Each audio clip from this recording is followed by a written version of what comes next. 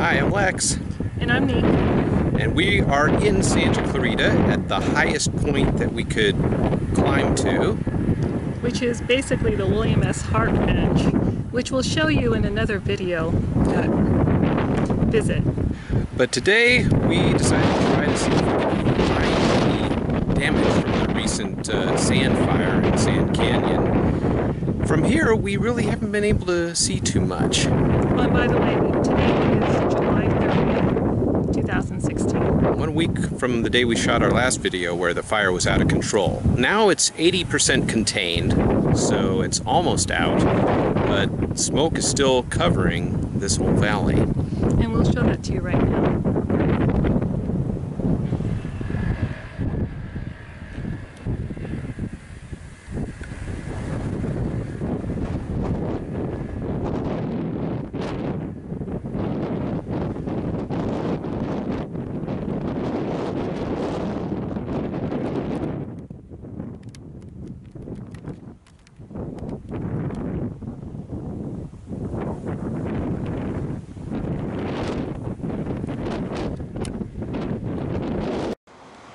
Hi, it's Neek again. We're here at Soledad Canyon Road where we've got some real evidence of the sand fire that came through here. Yeah, and a lot of the fire is as a result of a five-year drought, so making everything all dry and just fuel for this pretty much devastating fire. But right now it's pretty much contained and a lot of homes were saved.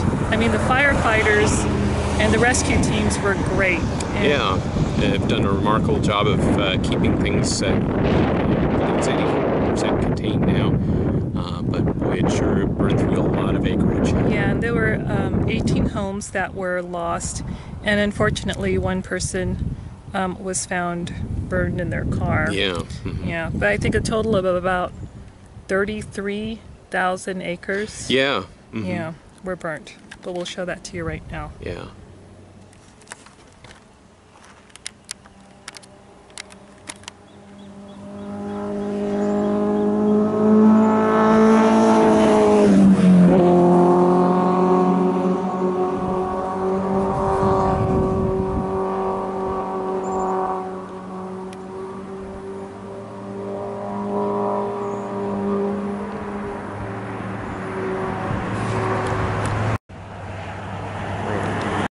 There's the Metrolink tunnel, and you can still see that there is some smoldering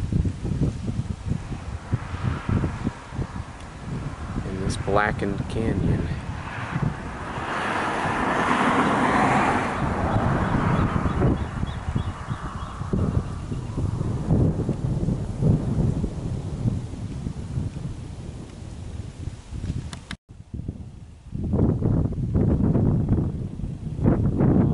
all hillside here.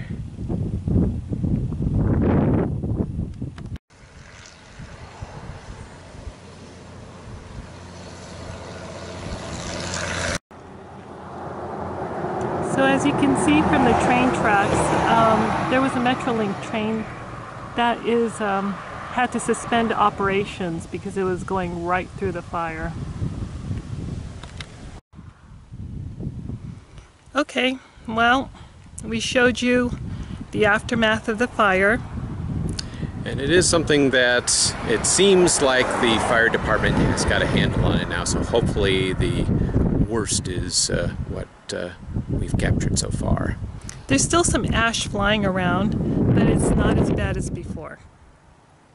So, again, reporting about the Santa Clarita sand fire, it's Lex and Neek.